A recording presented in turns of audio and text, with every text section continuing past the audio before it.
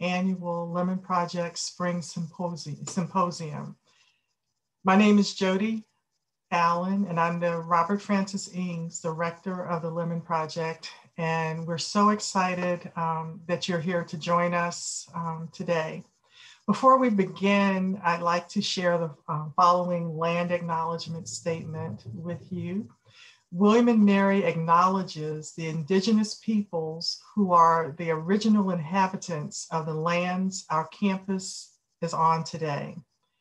The Cheroenhaka, Nottoway, the Chickahominy, the Eastern Chickahominy, the Mattaponi, the Monacan, the Nansemond, the Nottoway, the Pamunkey, the Patawomeck, the Upper Mattaponi, and Rappahannock tribes, and pay our respect to their tribal members, past and present.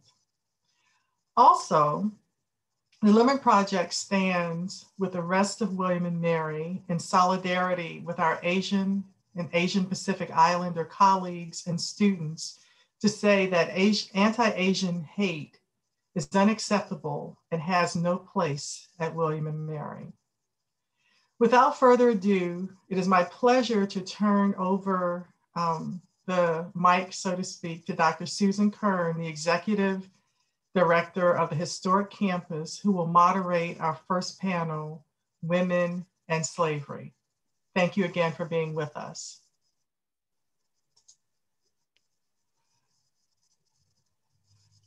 Thank you, uh, Dr. Allen, uh, and thank you for your leadership in uh, getting to the 11th annual Lemon Project Spring Symposium. Uh, it, it's a real pleasure to have been part of this and to see how this has grown uh, and how the themes challenge us every year to think in, in different ways about uh, slavery and race and William and Mary and what our role is with that. Um, at this time, I'd like to ask uh, all of the participants in the symposium, uh, invite you to use the chat feature of Zoom to ask any questions you have for our panelists. Uh, there's a group of uh, our facilitators who will collect the questions and feed them to, to me to ask of the panelists at the end of the session. So what I'm going to do is introduce all of our panelists uh, and then they will go in the order they are in in the program uh, and, um, uh, and then we'll take their questions after. So our first speaker today is Elsa Mendoza uh, and her talk is entitled Only God and Trusty Black Women, The Life and Labor of Enslaved Women at Georgetown University and the Jesuit Plantations in Maryland. Elsa Mendoza is a PhD candidate in history at Georgetown University and the assistant curator of the Georgetown Slavery Archive, an online repository of documents related to the Jesuit slaveholding in Maryland. She is currently working on a dissertation titled Catholic Slaveholding and the Origins of Jesuit Higher Education.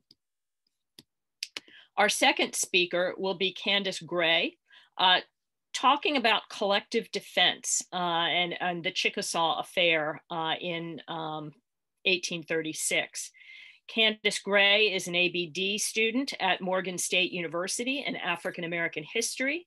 Her dissertation is entitled Slavery, Race, and Women's Rights in the Supreme Court of Texas, 1823 to 1923, and reflects her graduate work in cultural and, cultural and legal history studies. After completion of her PhD, she hopes to continue to emphasize her work in legal and social histories from 19th century American history while writing for future long and short-term publication projects. Uh, Caroline Watson uh, is, uh, will be speaking today on a history of archaeological work at William and Mary. Uh, she's currently working on her MA in, in historical archaeology at William and Mary, where she works in the Society Islands, French Polynesia, where she studies the impact of religion and ideology on monumental architecture and settlement patterns. She's also served as the anthropology graduate research fellow to the Lemon Project since fall of 2019. So Elsa, uh, you are our spe first speaker today, uh, and I turn the mic over to you. And again, reminder to our participants to use the chat feature in Zoom to, to type in any questions you have uh, for the speakers, which we will bring uh, at, at, at the end of all of our their presentations this morning. Thank you. Hi, thank you all for being here today, especially during lunchtime. Uh, today I will be speaking to you about the experiences of women who were enslaved at Georgetown University's campus. Now, during the first days of 1816, Father Giovanni Grassi, who was the head of the Jesuit mission in Maryland, received troubling reports from St. Inigoes plantation. A white woman had been engaged as a servant for the priest's household. In response to these rumors, Father Grassi wrote to the offending priest, Father Joseph Marshall, to inform him of his unacceptable arrangement. He reminded him that, and I quote from a letter, the servants in the Jesuit house are always Black women. White women had no place in the Jesuit household. Grassi reminded Marshall that, and I quote, only God and trusty Black women were always found to keep the keys of their houses. In seven plantations in Maryland and a college in Washington, D.C., the labor of Black women who were enslaved took many forms. They cared for ailing priests and students, they were cooks and laundresses and maids, they cleaned churches and classrooms. Their work made the operations of the Jesuit missions possible. In churches that lacked priests, for example, they became sacristans who assisted in Jesuit daily masses. Women were housekeepers in all of the Jesuit households. And they also picked cotton and corn in plantations alongside men. They attended also to gardens and fields. Nonetheless, women remain nearly imperceptible in the multiple works on Jesuit slaveholding in the region. Historians have only studied the Jesuits enslaved community in the aggregate. They had focused on institutions, given prominence to the organizational history of plantations, of colleges, and religious orders. And as a result, all of these studies are genderless, faceless, and nameless. Now, the following presentation will examine the experiences of displacement, separation from their families, sale, abuse, and extenuating and physically demanding labor of women who were enslaved by the Jesuits. I will center in particular on the lives of three women who were enslaved at Georgetown's campus. Their names were Polly, Harriet Edelin, and Margaret Smallwood. Now, the first one that I'm going to speak to you about is Polly. Polly arrived at Georgetown College in Washington, D.C. in 1804. Sacramental records from Charles County, Maryland suggest that at the time she was 23 years old. She was brought to the school by her enslaver, a man named Charles Boarman, who had been hired by the school's leaders to become a professor at the college. Now, according to a certificate of slaves that Boarman registered with the city's recorder of deeds, he brought into the city of Washington 10 enslaved people as he relocated from Charles County, Maryland. Their names were Louis, Sam, Terry, Nellie, Polly, Suki, and three enslaved children named David, Polly, and Rachel. These three infants were Polly's children, and their ages were four, two, and one years old. Now, Polly labored at Georgetown's campus, and I'm going to share uh, my screen with you. She labored at Georgetown's campus as a laundress for at least two years. On screen, what you see is an account from Charles Boarman's sons, in which it shows that part of the proceeds of Polly's labor helped finance the education of Charles Boarman's children. Charles, Courtney and George Boarman. These types of arrangements where the labor of an enslaved Black woman helped finance the education of white boy were common, especially in the first years of Georgetown College. While at the school, Polly, whose labor was credited to help finance the education of these boys, was actually separated from her children her children who had arrived in the city of Washington with her.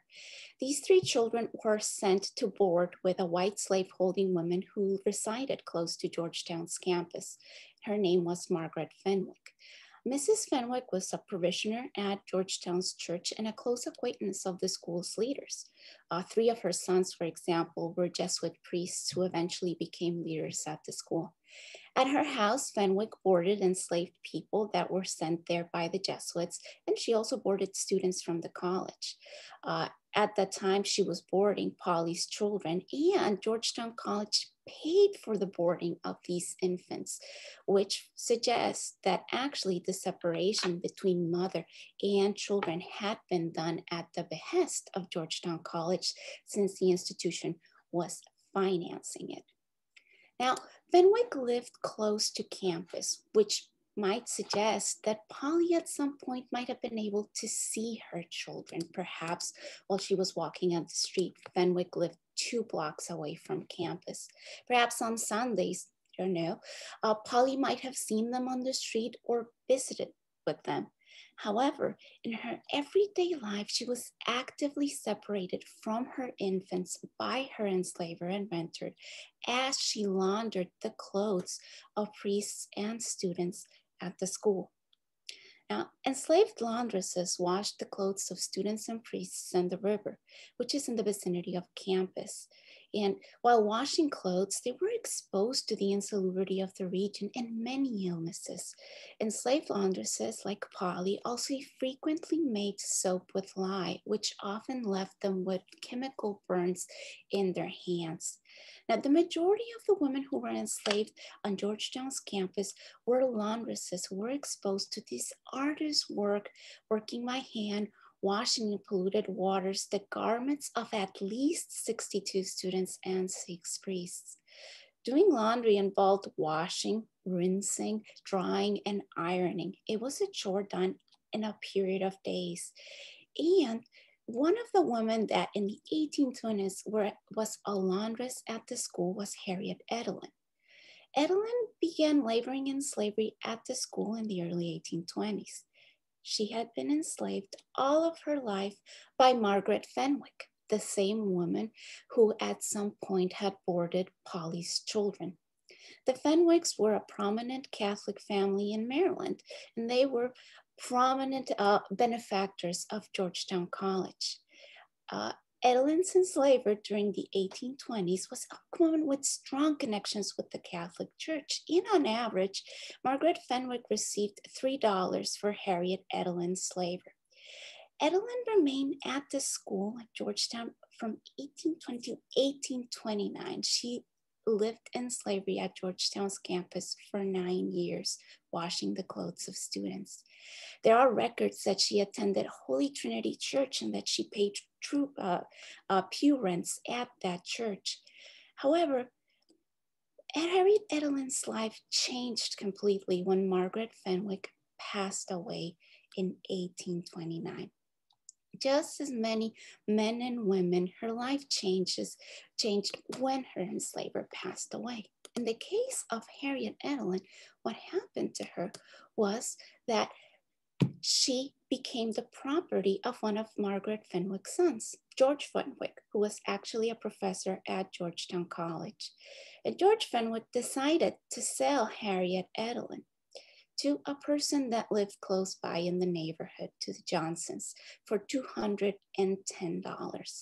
The letter that you see on the screen was a letter that preceded the arrangement in which uh, Fenwick sold uh, Harriet Edelin.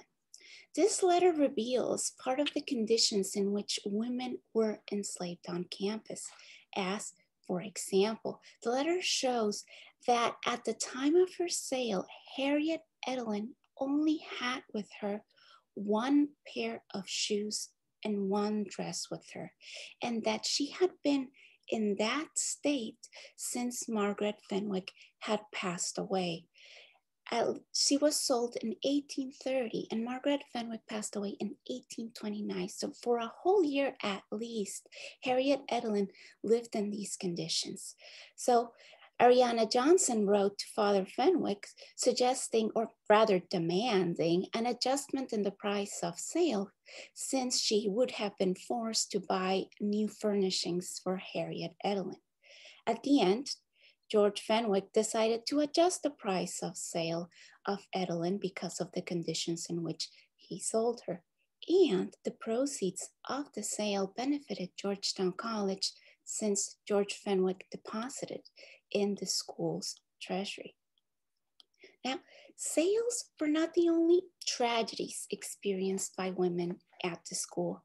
As I mentioned to you, the insalubrity of the region and the fact that they were all laundresses exposed them to many illnesses, like, for example, yellow fever, malaria. And infirmary records reveal, for example, that many of them received Peruvian bark, which was a way in which to treat malaria at the time. The conditions were so harsh that some women also passed away while they were laboring at the college. One of them was Margaret Smallwood, whose death records I will share with you on the screen now. Margaret Smallwood was a laundress at the school during the 1830s. She appears in church records as a parishioner at Holy Trinity Church. She does not appear often in the school's financial records, which suggests that she was actually owned and enslaved by the Jesuit order. But she was a constant presence in church records. And on April 21st of 1837, at the age of 45, Margaret Smallwood, who was a laundress at the school and who had received on multiple occasions ointments for burns in her hands, passed away. The record of her burial describes her as wife to a Charles Smallwood and, and I quote, as belonging to Georgetown College. Now, on the day of her passing, the Jesuit who kept the house diary also made an annotation of her death, describing how she passed away after an illness and that she, that she patiently bore, and that she passed away after receiving the last rites of the Catholic Church. Now, the last moments of Margaret Smallwood's life and her existence in documents, what we know about her, was marked by the institution of slavery, as the schools described her as property of the college when making the annotation of her death. Her status as an enslaved woman followed her in death. Now, the lives of these three women were marked by physically demanding labor, by displacement, in the case of Polly, by the separation from her families. In the case of Harriet Edelin, by sales. And Margaret Smallwood found her untimely demise at the school. But there are aspects from women's lives that still remain a mystery to us about their everyday activities, their family lives, and also goes without saying the violence that they might have survived in plantations and at the school. Now, limited sources do not reveal any details about how women endured slavery we do not know their voices from their archival record. But we do know that Catholic priests who led Georgetown had a contentious relationship with the women that they enslaved. That, that their plantations women resisted and sued them from wrongful enslavement in Maryland courts to try and gain their freedom. That some women actually fled the school, that they run away there were also rampant rumors that priests kept enslaved women as concubines. For example, one of Georgetown's founders, a man named George a- a- John Ashton, was sued by three women for wrongful enslavement. And he was also rumored to have fathered three children with an enslaved woman named Susanna Queen. These rumors only increased after his death, as in his will, he left part of his properties to Queen and her children. Now, letters from Maryland plantations and records sent to Rome also suggest that Jesuits beat women, including pregnant women, by whipping them in their bedrooms. A story that became common knowledge in the 1820s and that I will share with you one of the evidence on the screen, was that of a woman named Suki, who in her last years confided to a recently arrived European priest that in her youth she had witnessed a priest who had self flagellated himself. And that terrified, she looked through the window and she entered the room trying to stop him from hurting himself. But that, to her surprise, the priest instead decided to punish her giving her, in Suki's words, according to the priest, what she described as, and you can see it on the green highlight on the screen, a dreadful whipping for her curiosity.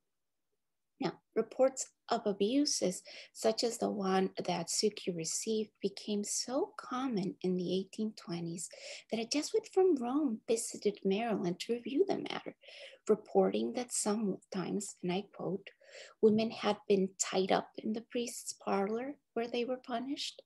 Father Kenney also published a series of regulations for all Jesuit households, including Georgetown University, that insisted that pregnant women should not be whipped, that women should not be undressed when punished by priests, and that they should not live and sleep in the same rooms as priests.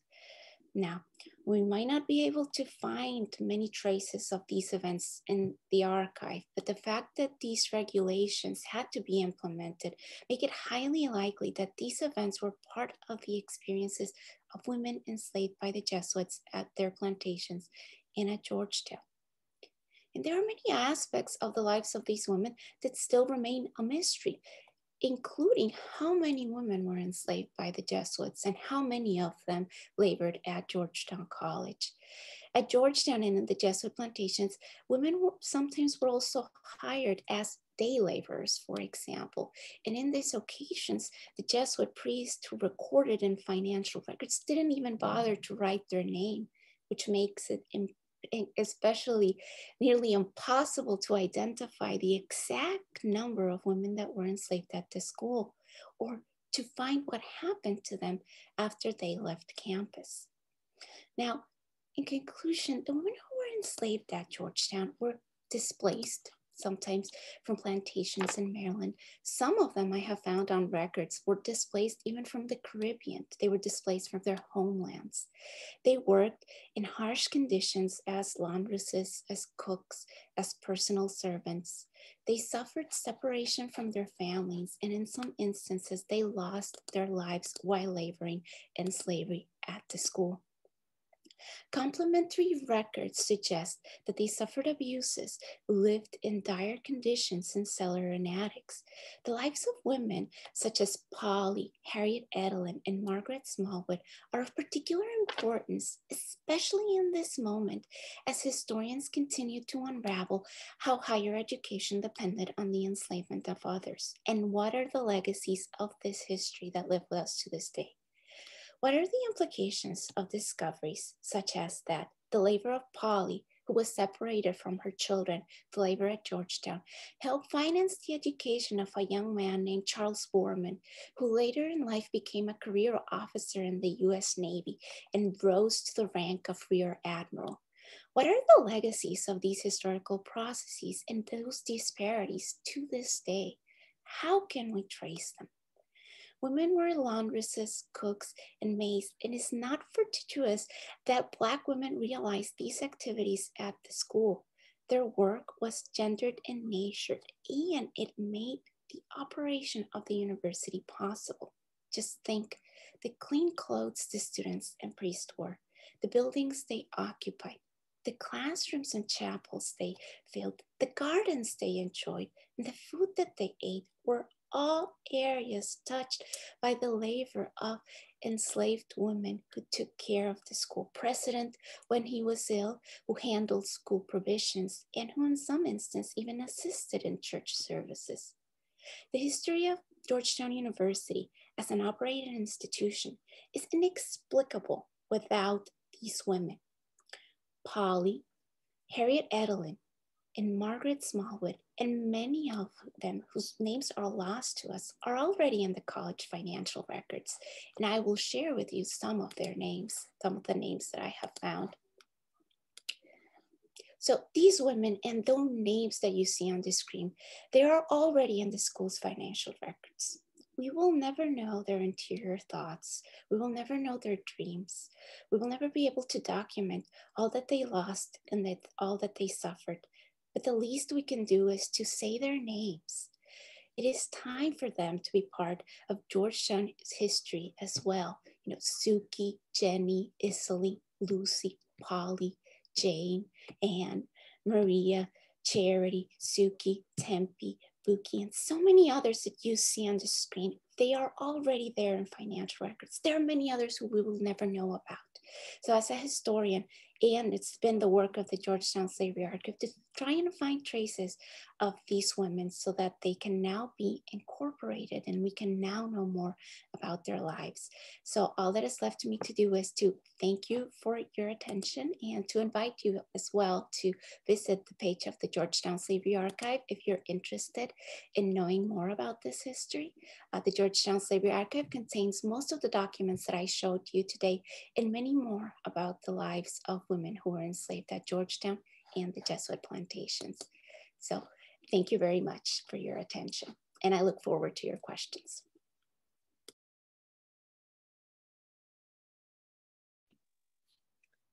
Elsa, thank you so much for that wonderful talk. Uh, I'm intervening here because we have a slight change in program and Caroline Watson is going to present her paper next. So uh, please enter your questions and great presentation, uh, Elsa Mendoza. Yes, thank you, Elsa. That was an incredibly interesting and fabulous presentation. Um, thank you for coming to the symposium and sharing your research with us. Um, I'm going to shift gears a little bit now and talk about the work that I've been doing as the Lemon Project um, graduate assistant for anthropology and archaeology. And let me share my screen with you all really quickly here. Okay. Okay. So I'm Caroline Watson. I'm a second year master's student at William & Mary. And as I just mentioned, I'm the anthropology slash archaeology um, graduate research fellow for the Lemon Project. I've worked with the Lemon Project for almost two years now, and this is kind of a summary of some of the work that I've been doing, and in addition, um, some of the work that I hope to do in the future.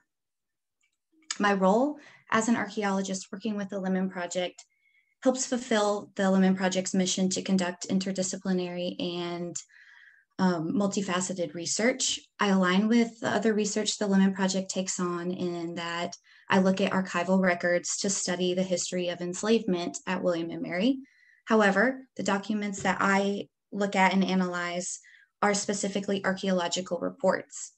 So archaeologists have performed excavations on campus um, for at least 90 years now, and they've shared their findings in published reports. And I've been collecting these reports and looking at the descriptions of their material findings mostly. And that's really the first goal um, of my fellowship. Gather all this documentation, digitize it, get it all into one place. I also hope to create a standardized artifact um, inventory database because there's been different archaeological groups that have been on campus and done work um, artifact data is cataloged and labeled differently. So we hope to be able to standardize all of this and put it into one database and eventually translate all of that um, into this system that's connected to um, a public facing website where people can access this data and engage with this archaeological information in the hopes that this will encourage future research projects about specifically related to the materiality of um, enslavement at William and Mary. In this presentation though, I'm gonna focus mostly on my work that is related to goal number one in terms of the reports. So officially, official archaeological investigations on William and Mary's campus date back to the early 20th century, with the first projects being conducted between 1929 and 1931. These were funded by the Colonial Williamsburg Foundation, and these were mostly restoration projects that dug trenches in order to find original brick structures and foundations of the president's house in the Wren building. The map I have here is, is just a visual of some of the early trenching they did. And it also shows, it kind of overlays the fact that there's been a lot of testing done in, in a similar area over the years. Here is a more comprehensive view of all of historic campus. This image really shows the amount of archaeological work that's been done on campus. And if you look to the legend, you can see the multiple parties that have been involved in excavation, as well as the different techniques that have been used in terms of trenching versus shovel test pits versus what we know to be the more standard unit excavation.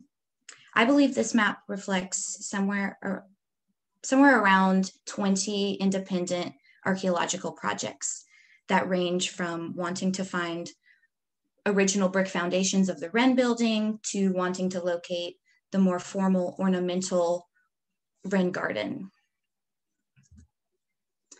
Archaeological findings at William and Mary have been, they are incredibly diverse.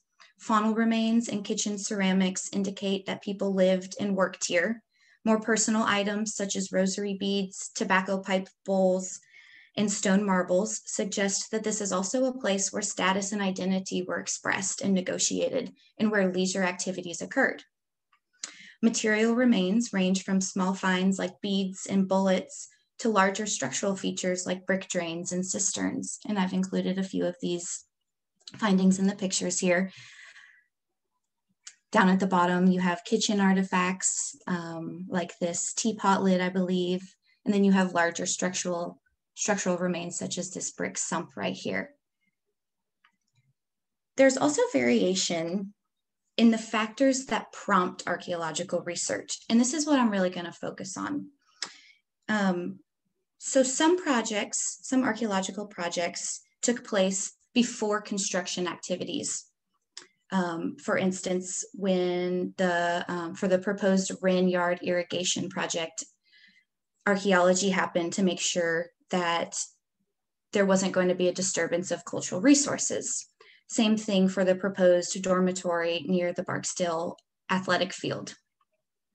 Others were excavations that kind of occurred in response to findings um, or new discoveries that happened during a building re renovation. Um, for instance, I believe there were um, excavations, there was a brick drain brick recovered during in the 1980s in the president's house when people were trying to put in um, an air conditioning system.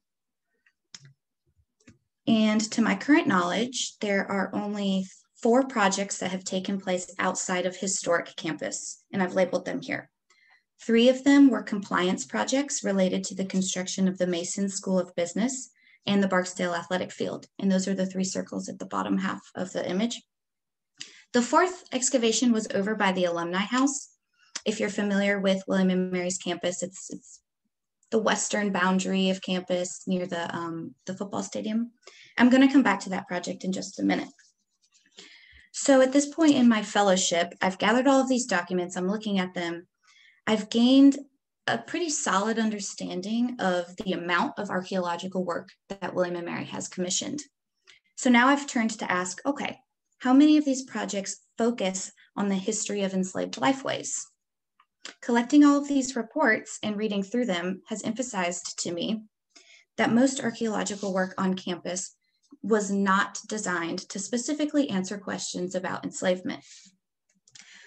To be fair, some, some write-ups briefly allude to enslaved Africans being on campus, Yet others fail to acknowledge the presence of enslaved people at all in their write-ups and in their material interpretations. And I've um, laid out some statistics here. So out of 18 archeological independent excavations that have taken place since 1931, only one was specifically prompted by questions about uh, wanting to learn more about African and African American history on campus. Four out of 29 published archaeological reports that I've been able to find consider the material findings within a context of slavery. And within the anthropology department, there is one master's thesis that has analyzed excavated material to specifically explore questions of enslaved lifeways. Now, that all sounds a little bit critical, and I wanna, I wanna take a step back and explain that there are definitely real world understandable constraints to archaeologists. Most archaeological work done on campus has been compliance archaeology. And this is when you get hired to survey an area and make sure there's the construction or the renovation of a building is not going to impact cultural resources. Um, also, I'm mostly working with unpublished reports, or I'm mostly working with published reports and the material that I can find and what's been made available to me. It's very possible that there's there's unpublished work out there or stuff that hasn't been written up yet, and that's what we tend to call gray literature. So going back to those statistics I just presented, some of that may be a little off due to this. And finally, stakeholders. Stakeholders have significant impacts on directing projects. Who is interested in what?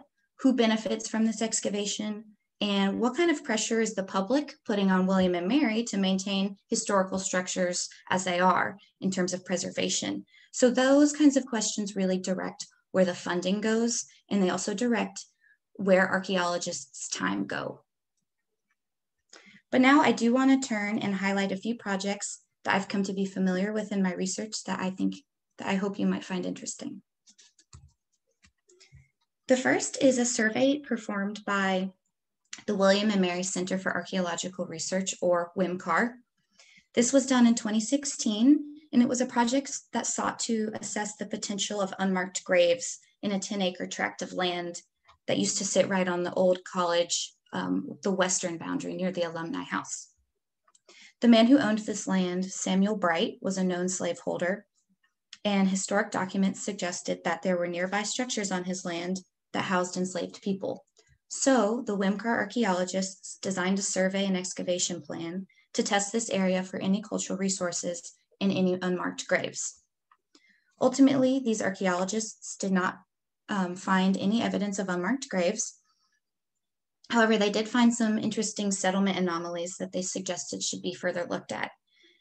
Even though there was no finding of an enslaved burial ground through this project, I wanted to highlight it because I view it as a, a step forward in beginning and energizing the conversation around how can we use archaeology as a useful tool of inquiry to study slavery at William and Mary.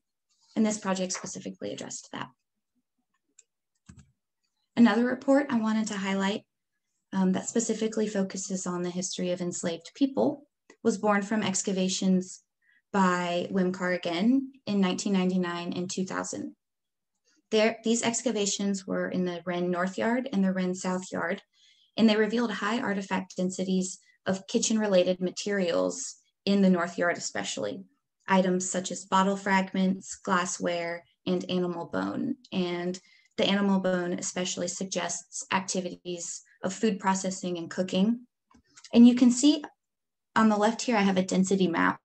You can see on this density map, it shows where these artifacts were most concentrated, which is right to the Wren. If you're looking at the Wren building, it's to the right of it. Uh, the authors then compare this density map to several historical depictions of campus, one of them being this image on the right, which is a lithograph uh, from Thomas Millington in 1840.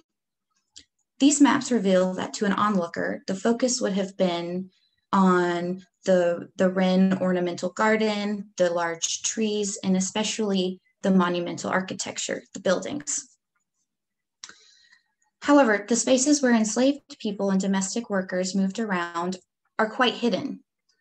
So these authors use the spatial knowledge about the placement and the location of buildings, fences, and trees, as well as the, the location of where enslaved labor and domestic workers were concentrated, to suggest that the college was intentionally concealing the activities of enslaved laborers from eyesight.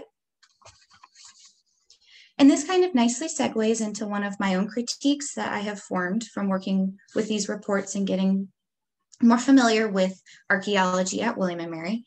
And that's related to our fixation on and our prioritization of monumental architecture. We know so much about the Wren building, And I have learned that many archaeological projects on campus are devoted to learning more about the Wren, its construction, its rebuilding phases, its foundations, etc. And that is all great knowledge to have. I'm not saying that we don't need to have that knowledge.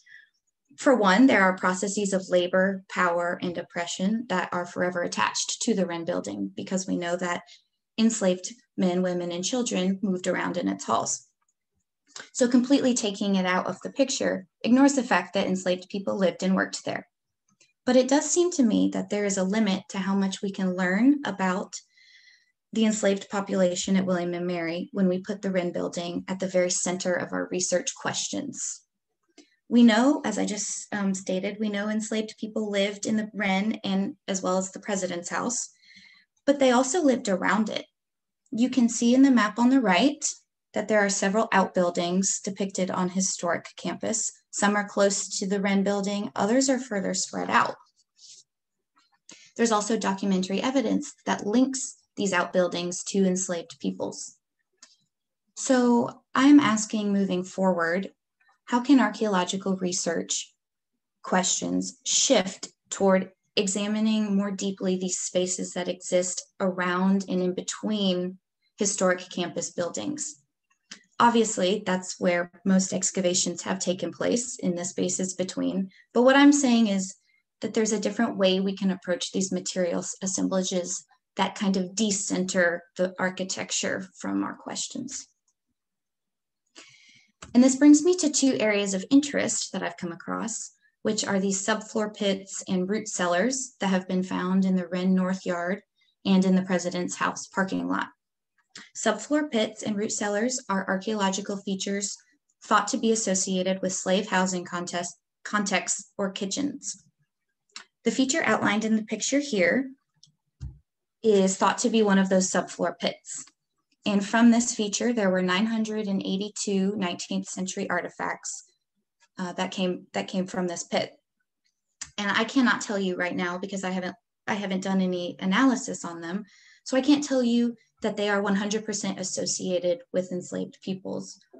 But I do encourage a deeper material analysis analysis of features like this because I believe they're a good starting point to get at these questions of how did enslaved people live and how did they move around? What materials did they use at William and Mary? This reorients research questions away from the monuments of historic campus and toward these less visible and less understood spaces. This may even allow us to broaden to, or to spatially extend what we conceptualize as historic campus, because we know that these outbuildings existed beyond the boundary that the Wren, the Brafferton Indian School, and the President's House make up. Maybe we can even extend historic campus all the way back to the original 330 acre boundary line that goes back to the alumni house. Effectively, this transforms the way that we think of William and Mary as an archaeological site.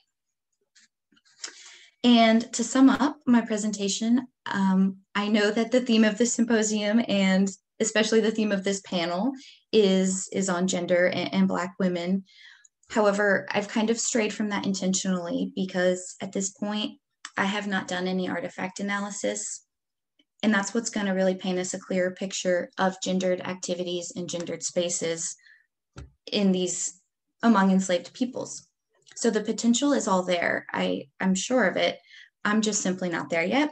My goal for this presentation and for my fellowship is to highlight this discrepancy between archaeology existing at William and Mary for about 90 years, yet only a handful of projects and published material that really takes on the history of enslavement.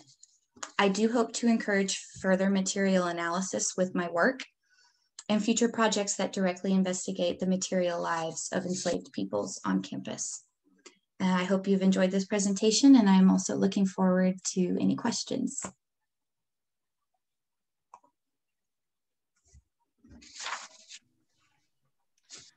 Thank you, Caroline. Um, uh, we regret that our third speaker uh, was not able to make this session today, so we're going to leap into the questions for Elsa and for Caroline. So it's my job as moderator to read the questions that have been coming into the, the chat and um, uh, Elsa and Caroline, I invite you to, to both stay unmuted and to, to take turns answering and, and feel free to respond Elsa, if I ask a question to Caroline, feel free to add to an answer that you might have and, and vice versa. Um, okay, so um, questions.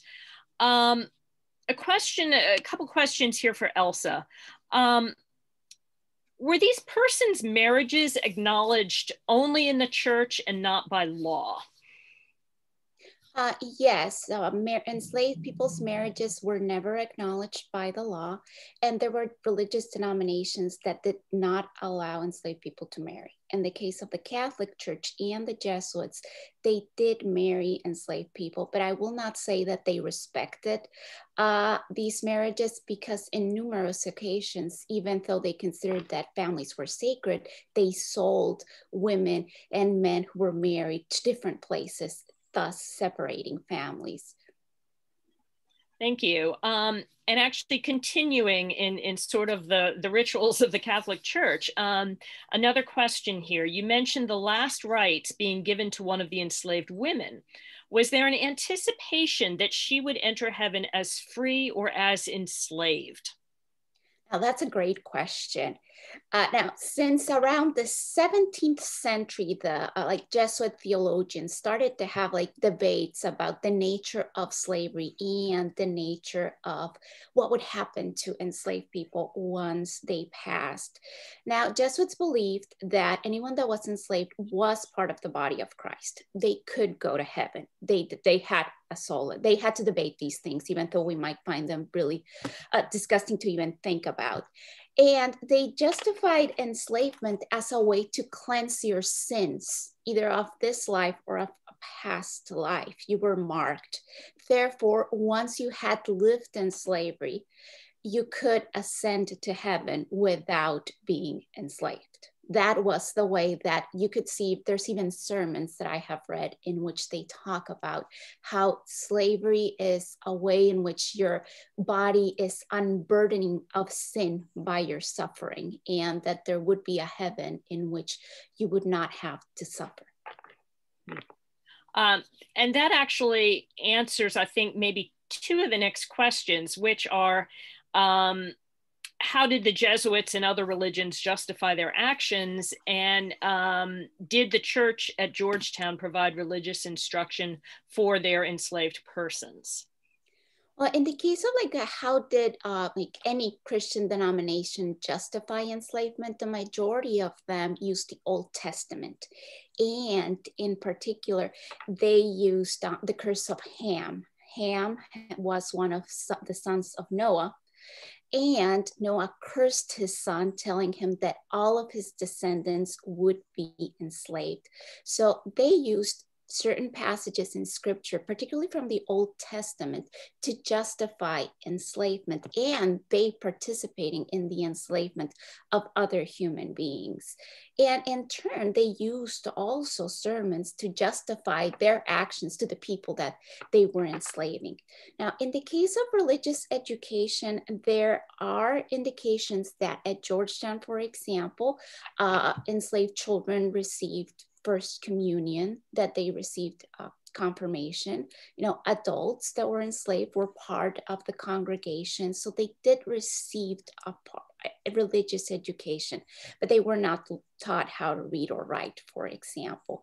But many jesuits did have like an active missionary life with the communities that they enslaved because that was also one of the ways that they justified enslavement. We're enslaving them because they are infidels and we are bringing religion to them. Like this, there's a really twisted mental universe in which these priests inhabited. And those were the ways that they justified enslavement and also their treatment of the people they enslaved. And, and certainly, uh, you know, there's plenty of evidence that's not limited to the, to the Catholic Church that that that extends uh, across many many denominations. Exactly. Yes. Um, Caroline, um, could you talk a little bit about how um, the public uh, can view the archaeological reports uh, attached to William and Mary, uh, especially uh, finding ways to, to ask questions about African American history on campus? Uh, yeah, sure. So a lot of these reports are that that I've collected and looked at. Some of them are available online through if you you can go to the the WIMCAR website. It's William and Mary Center for Archaeological Research. They have they do have um, a page where they have some of their published reports that are available to read. Um, you can also, I believe, the Virginia Department of Historic Resources, the VDHR. Um, th- th- that's definitely a good resource to go to. However, I will say I did spend the better half of a year trying to locate these reports because um, you know i took on the task of okay let me let me gather all information that we know about archaeology at william and mary. And i thought that would be kind of a straightforward um, task. Turns out it's not. Archaeologists can sometimes um, you know write things up and then and then just leave it somewhere um, undigitized. Uh, so some of the reports that I that I talked about here, I've digitized them uh, personally, and they exist in in like our Lemon Project shared vault almost. Uh, the goal, hopefully in the near future, is to get all of those into attached to a public facing website so that anyone and everyone can go in and access that information and and look up all of the material findings that um, have been found on campus. Um, and Elsa, I'll, I'll throw a, a, documents question to you. Um, beyond the, the slave schedules of the 19th century, what documents are sources of names of slaves at Georgetown? Uh, Sacramental records are one of the biggest sources of names and also of finding relations of enslaved people. Uh, the Jesuits gave sacraments from like baptism to like marriage, first communion to the people that they enslaved. So some of the names that we have of these people are based on these sacramental records, which are like online at the Georgetown Slavery Archive. Other sources of names are actually censuses that the Jesuits themselves did at on campus and at their plantations in distinct moments. And sales are also uh, good ways to find the names of people that were enslaved on campus. Um, another question for Caroline. Um, the excavation reports that you're talking about, did you include the uh, excavations from the site of the Bray School, uh, which I happen to know that report is not yet published. So, um, but it, is, is that represented in your statistics? Right. And so um, that is a that is a great question because those excavations are are you know incredibly relevant uh, but no, I did not include those reports in in those statistics and, in my findings, mostly because, as Susan just mentioned, they're they're not published yet. A lot of times, um, between there's there's often like a lag between when a site is excavated and then when it gets published on, and because I mean I I am technically an insider, but I'm not I'm just kind of getting started with this research. So I haven't been able to get access to a lot of unpublished reports yet or or even field notes and that would be really great to know um, so no i have not included in my analyses the excavations um, from the bray school well and it, i'll i'll take uh, uh, uh, uh commenter's prerogative here to to add that uh, you know, there's a very visible part of archaeology, which is the field work, but then there is a lot of work before a report gets finished that involves uh, cataloging artifacts, processing artifacts, doing statistical analysis of them. So there's a lot of archaeological work that's invisible, uh, and it, it's it's not always that someone's trying to hide something; it's that they're trying they're trying to get it done. Um, it, you know, while uh, while other things are also pressing. Um, so I have a question. Actually, I, am going to uh, two questions here. I'm going to throw to both of you. Um, the first is um, what do we know about burial records, uh, locations, and sites at, at both Georgetown and at William and Mary? Okay. Well, I could I can start uh, with with Georgetown now. In the case of burial records, a lot of burial records, especially from 1818 until 1860, you can find digitized, and you can find them now in the Georgetown Slavery Archive.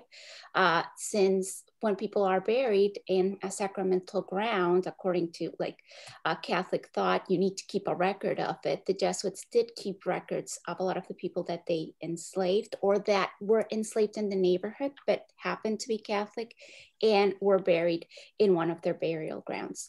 Now, one of these burial sites is actually at Georgetown University's campus. It is now underneath the science building. There's absolutely no type of like memorialization done. And one of my activities as the assistant curator of the Georgetown Slavery Archive is to put a memorial uh, to the people that I've identified that were enslaved. And I don't know if I could share you a, a picture of the memorial uh, just quickly so that you can see it. I've been putting this uh, this memorial with the names of 66 people that were enslaved and were buried in a site called the College Ground, which was a Catholic burial ground from 1818 to 1832 when it ran out of space uh, because of the cholera epidemic. So all of these people were buried in this site, which is now underneath a building called the Reiss Science Building. And when the building was uh, started to construction in the 1950s, uh, Georgetown did move some bodies, uh, but only from the area of the cemetery that was actually for people that paid to be buried and not enslaved people. So I can assure you that they did not move these bodies. Uh, there's very few documentation of any sort of archaeological work done after uh, construction. And actually, I'm going to stop the share now. Actually, when they were building a dorm recently in 2014 15, they actually found human remains again because this is the area of a cemetery, but nothing has been done of it. So that's why I've been putting up uh, this memorial. I, I believe that it's very important to bring attention to the history of these burial grounds because sadly, the inequalities and the injustices that these people lived during their lives follow them to their deaths and their descendants cannot go and visit them. Another burial site I'll quickly just add is also on Wisconsin Avenue. For those of you that know Washington, D.C., uh, there is another burial ground there on Wisconsin in front of a Trader Joe's. Now that that site has uh, has been uh, been it's not underneath a building it's still an active cemetery but there is absolutely no sign that enslaved people are buried there but at least 40 people that have that were enslaved were buried on holy rood cemetery you can google holy rood cemetery and you can find more information about that so these are the two main sites in which you know people related to the Jesuits or Catholics that were enslaved in Washington D.C. in the area of Georgetown were buried. Thank you, Caroline. Uh, yes. So, in terms of an enslaved burial ground or burial records that indicate the locations or, or site of enslaved people at William and Mary, I would say that that's something that's on the forefront of all of our minds and, and something that we all really want to get at. I can speak I can speak on I, I read a report about the discovery of a number of enslaved peoples, um, I believe women and children actually, 10 to 12, I think, that were found at the um, college landing site, which is near campus, it's not on campus. I've also, um, through word of mouth and personal communication, have learned of um, some graves that were discovered near Merchant Square in Colonial Williamsburg that were thought to be um, um, an enslaved African family. However, those extend beyond the boundaries of um, William and Mary's campus, and that's what I've been really focusing on was what's hap- what happened on campus. It's very it's very possible that some of those that some of those individuals could have been linked to William and Mary, but um, we don't we don't really know that yet. Um, as I mentioned earlier, there's been investigations to try to look for um, unmarked graves or unmarked burials near the edge near the edges of campus, but those um, that was in 2016, and I don't believe those didn't come up with anything. So, so yeah, I, I would say like that. That's kind of the burning question: is how can we take archaeology at William and Mary, move forward with it in productive ways where maybe we can find an enslaved burial ground because because we really haven't yet. Well, and if if I can ask you to extend your question a little bit, there's there's another uh, uh, audience member who who actually would would like you to talk a little bit more about what we know about the early boundaries of William and Mary uh, and how how how those conditions make archaeological digs possible for research what's built over and what's not. Do you have kind of a general statement about uh, you know his, the, the property that william and mary owned historically and how the, the circumstances of it today? Mm-hmm. right. Well so the original college tract of land was 330 acres and a lot of that i mean the college still they've expanded on that, but none of that doesn't belong to the college anymore. Um, in terms of what's been built over, I mean, certainly academic buildings, um, the library, the athletic fields, and stuff. So, all of that does tend to make it difficult to conduct an extensive archaeological survey of that original 330 acres. And unfortunately, for some of the buildings that went up before, I'd say the 80s, archaeologists weren't really writing down specific findings um, or weren't conducting large scale excavations to prevent the destruction of cultural resources. Um, what I personally would like to know the most about, or what I'm most curious about, is the sunken gardens because that was that sits right behind um, historic campus. And those that was constructed during the depression era so in the 1930s and i i don't believe i think the the ccc the civilian conservation corps might have some records on anything that was found while the sunken gardens were being constructed and you know literally dug out um, I haven't gotten access to those records yet. Um, that's that would definitely be an interesting research direction to go in, but um, yeah, I'll, just, I'll leave it at that. Um, thank you. Um, I, I, have a question um, that I want to throw to Elsa, um, and I'm, I'm wondering if you have any way of have seen any way that the Jesuits acknowledged reproductive labor by women as having val- the same value as their labor doing laundry. Um, you know, what what is did, how are how is their potential for uh, for raising families for you know unfortunately reproducing uh, numbers of, of enslaved people. Um, do, do you see any, any acknowledgement of, of reproductive labor as part of their economic value to the Jesuits? That's that's a great question because I had like that was one of my burning questions when I started to look into the archive. Like, how is it that did they acknowledge reproductive labor? However, what I've actually seen in the archive is that at some point they start even to see the reproduction, like the, the productive capabilities of women as a hindrance to their activities uh, because they do not like that women have to spend time raising children, that children can't go into the fields.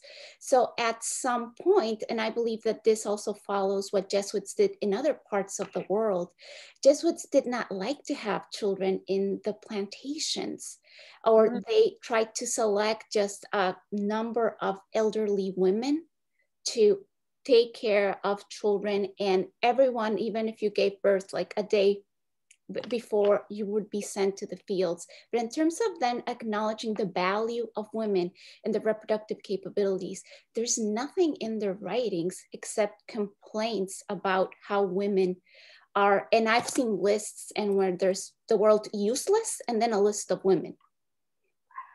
So they, they have, uh, their ideas on gender are quite fascinating and in some respects, they did not share uh, the same ideas that other planters in the South have in terms of like the value that a woman might have because she is in a reproductive period.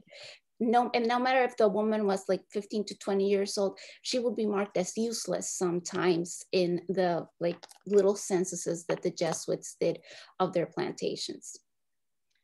Um, so I'm going to ask last question here for, for each of you. Um, and our audience members would like to know how many enslaved people are we talking about uh, documented at this point at Georgetown, at William and Mary? And um, what are movements toward reparations at each institution or at, on some other institutional level uh, with the knowledge we have? In the case of Georgetown's campus, I have found 75 different uh, individuals that are named in the financial records in a period of 70 years. Most of the campus depended on hired enslaved labor. So most of these people were actually not owned by the Jesuits, but by local slaveholders that used them to finance the education of their children.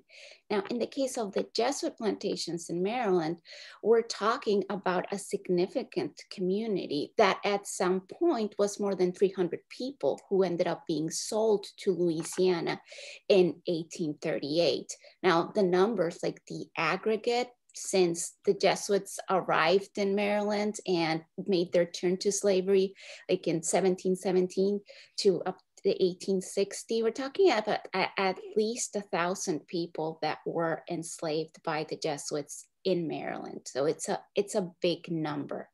But uh, for a lot of them, we don't have names. Now, because of the sale of 272 people in 1838, there's been like a movement towards reparations. I'm sure you've all heard in the news, you know, students uh, voting to establish fees. And just recently, that the Jesuit order uh, promised that they're going to start fundraising money of at least $100 million to create some sort of a fund for the descendant community. Now, I don't know if they believe that that is reparations because the way that I conceive reparations might be differently to them, but there is a, a movement and they have, uh, in some points, apologized for their participation in the slave trade and they're doing, they're starting. I believe that this is just the starter, I would like to think, because there's still much to do. Caroline? Yes, so the Lemon Project is is kind of constantly and actively still in the search for for names of enslaved peoples but at the moment we know of 180 enslaved individuals that either lived or worked at william and mary from 1693 to 1865 and we're definitely as i said we're definitely still looking for more individuals at this time um, but we're at 180 right now. And in terms of reparations, I mean, William and Mary has issued a formal apology. The um, the Lemon Project, excuse me, is is deeply involved and dedicated to community engagement with with descendant communities and the African American community in Williamsburg.